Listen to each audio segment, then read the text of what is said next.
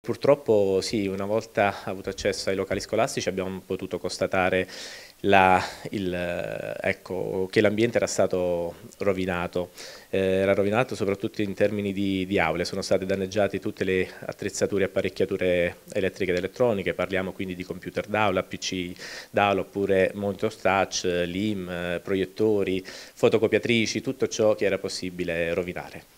Atto vandalico all'Istituto Omnicomprensivo Fanfani Camaiti di Pieve Santo Stefano. Siamo nella Val Tiberina Aretina. I danni si aggirerebbero intorno ai 50.000 euro. I vandali si sono introdotti durante la notte passando da una finestra all'interno dell'istituto e hanno mandato in frantumi le LIM, le lavagne interattive, le fotocopiatrici e altra strumentazione.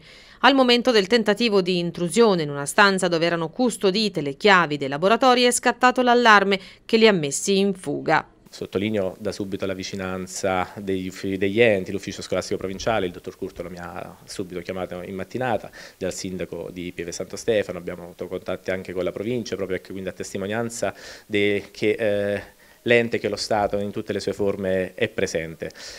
L'amarezza per il gesto assolutamente è da condannare, non è assolutamente ammissibile né tantomeno giustificabile. L'importante è che, non si facciano eh, e lasciano passare determinati eh, atteggiamenti, atti come espressione di un disagio giovanile o forma di contestazione, perché mh, sono tutt'altro. Oggi i ragazzi non hanno potuto fare lezioni all'interno delle aule, alcuni sono stati ospitati in palestra, altri hanno fatto lezioni all'aperto. Chi ha danneggiato gli strumenti ha lasciato anche tracce di sangue, le indagini sono condotte dai carabinieri di San Sepolcro.